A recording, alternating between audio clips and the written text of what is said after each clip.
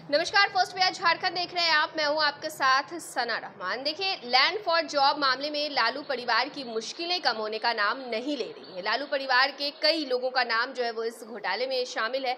RJD supremo Lalu Prasad Yadav, उनकी पत्नी राबड़ी देवी, उनकी बेटी मीसा भारती। वहीं आपको बता दें कि बिहार के डिप्टी सीएम तेजस्वी यादव का भी नाम इस घोटाले में शामिल है।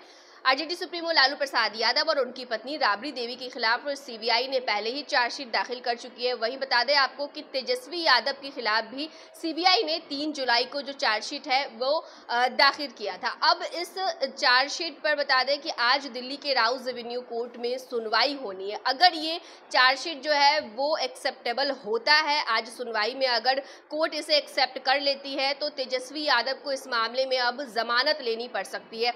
आपको यहाँ पर बता बताते चले कि लालू प्रसाद यादव और राबड़ी देवी पहले ही जमानत पर चल रहे वहीं तेजस्वी यादव के खिलाफ जो चार्जशीट दाखिल की गई थी, उस पर आज राउज रेवेन्यू कोर्ट में मंजूरी मिल जाती अगर वो एक्सेप्टेबल होता है तो तेजस्वी यादव पर भी ये जो मामला है, वो चलेगा। और तेजस्वी यादव को इस मामले में जो जमानत है, वो लेनी पड़ेगी। दरअसल पूरा जो मामला है 2004 से 2009 के बीच, जब लालू प्रसाद यादव केंद्र में रेल मंत्री हुआ करते थे, तब का ये मामला है, उन पर ये घोटाले का आरोप जो है, वो लगा था। इस मामले में आपको बता दें कि सीबीआई और ईडी कई कई बार लालू परिवार के कई लोगों से जो पूछताछ है, वो कर चुकी है। तेजस्वी यादव से भी पूछताछ हो चुकी हो चुकी है। और राजधानी पटना से लेकर के दिल्ली तक के तमाम जगहों पर जो सीबीआई की रेड है, वो भी पड़ चुकी है। पूछताछ लगातार जारी है। और अब तेजस्वी यादव के खिलाफ जो चार्जशीट दाखिल की गई थी, उसको लेकर के राउस रेवेन्यू कोर्ट में आज सुनवाई होनी। तो क्या ये कहा जा सकता है कि तेजस्वी यादव के लिए आज का दिन बेहद ही अहम है। बेहद ही अहम फैसला जो है आज तेजस्वी यादव को लेकर इस मामले में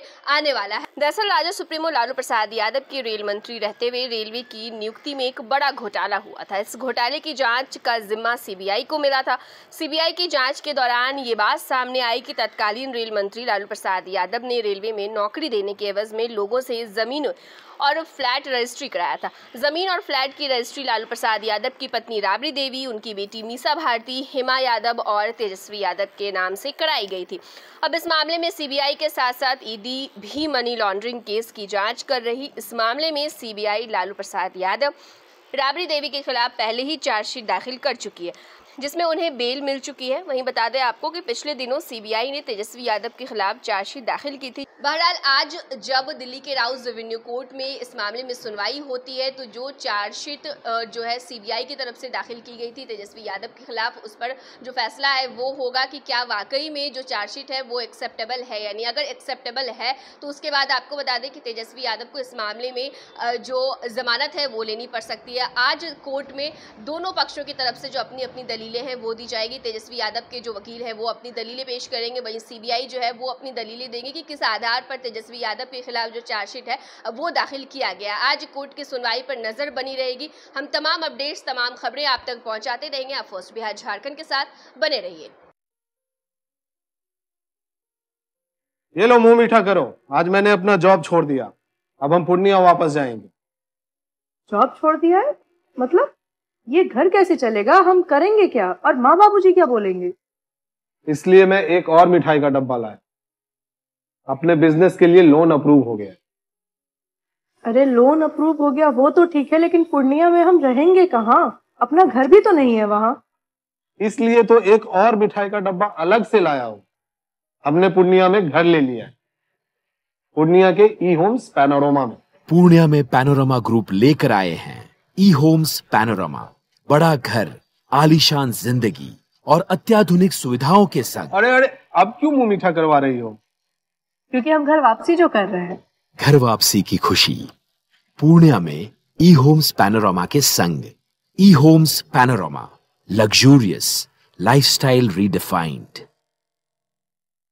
Do you want to be an anchor, reporter, producer, editor, or graphics designer? So start your career on a strong note with the stalwarts of media. Do it with First Bihar Jharkhand Animation Academy. Three years full-time BSc Electronic Media course. We will teach you all the tricks of television to digital media. We will tell you all the best techniques of media. 90% practical and theory will be only 10%. We will take 100% guarantee of your job. Join us today or contact us for more details. 930 47 55035 or 9304755037. Animation Academy, an initiative of First Bihar, Jharkhand.